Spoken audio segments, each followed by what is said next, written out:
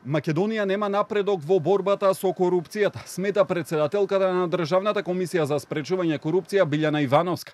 Во интервју за Радио Слободна Европа, Ивановска забележува на нискиот степен спроведени активности предвидени во акцискиот план на националната стратегија.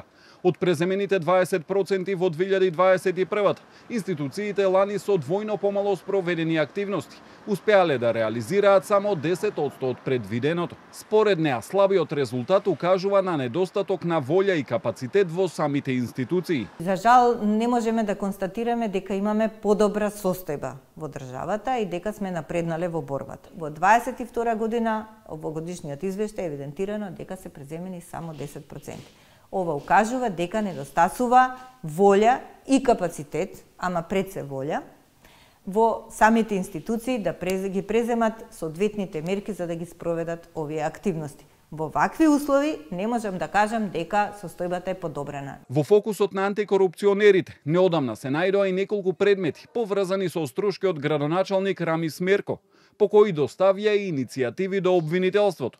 Но за сега, ниту еден од предметите за кои има истрага не резултирал со судска постапка. Надзорот на обвинителството утврди дека 30 на предмети од 2006 па до денес поврзани со Мерко поминале низ рацете на обвинителите. Сега поднесовме и друга кривична пријава, исто поврзана со тој градоначалник. Се работат и други предмети поврзани со таа општина, со тој градоначалник. Очекувам дека треба да се поинтензивира работењето на истражните органи, на јавното обвинителство и што побрзо да се изрече јавна обвинителска одлука, за да може судот да си превземе своји активности, односно да си донесе пресуда. Длабинските контроли во обвинителството следеа откако Американскиот Стейт Департмент го стави на црната листа поради сериозни наводи за корупција.